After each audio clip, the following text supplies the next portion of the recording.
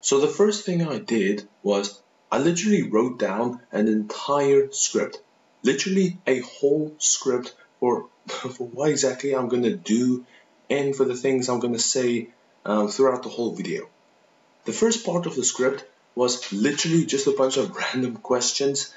So for each question, I literally just wrote down a random answer for each question. So let's just say the question, um, what is your favorite color? When I wrote that question, I wrote number five as just a, no, just as, as a joke. But after I wrote, that down, I thought to myself, hey, what if I use that number five as, no, as like a, like a, like a way to show people like what is the answer for like a other random question that I was gonna ask my audience in the comment section. So I thought, hey, number five could be blue, and all the other numbers could literally just be you know random colors. That's what I thought. So yeah, I just kept it that way. For the first question, how is your day going?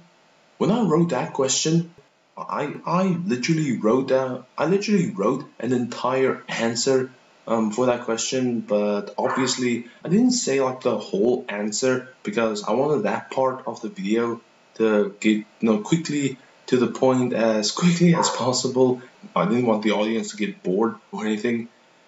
But even though what I said wasn't really that long, half of the things I said in the answer was was scripted, but the other half was completely improvised. That is why when I said when things aren't going wrong or, or, or aren't going right, they're not going wrong, they're going left. And then at that part, at that part of the video, I got so confused and I was like, wait, wait, no, this isn't left.